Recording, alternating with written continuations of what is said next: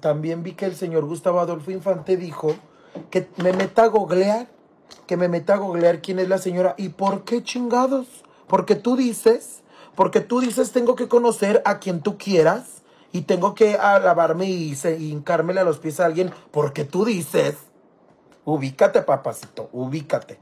A mí tú no me vas a venir a mandar ni me vas a venir a hacer putos juegos ni pendejadas como les haces chismes y escándalos a todo mundo. A mí no. Conmigo sí, o sea, se me hace una mamada. No les voy a hacer caso ni traer polémicas porque esta cabrona que no estudia, esta cabrona que, que es la corriente y todo, les da de tragar porque se la viven hablando de una.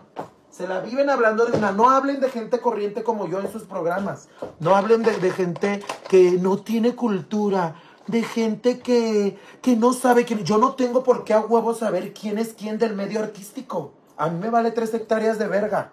No me importa quién es sabe quién, ni quién es perenganita, ni quién es sultanita. No. A ver, oblígame. Quiero que vengas o que me busques y me obligues a, a googlear, a googlear a quien tú quieras. Tú no vas a mandar en mi vida, señor loco, de verdad, señor loco. Ahora resulta como dijo, ay, le invito a que google. ¿Por qué chingados? Porque tú dices, ay, pobrecito. X, hermanas, todo ese pedo, todas esas mamadas, todas esas mamadas, a mí ya me han dicho desde hace muchos años de todo. Me han dicho que la vulgar, que la corriente, que la, la que sea, de todo, manas. De todo. Pero pobrecitos, la verdad, este, ay, me da mucha, como mucha risa. Porque de esta vulgar y de esta perra que no estudió, tienen que andar hablando.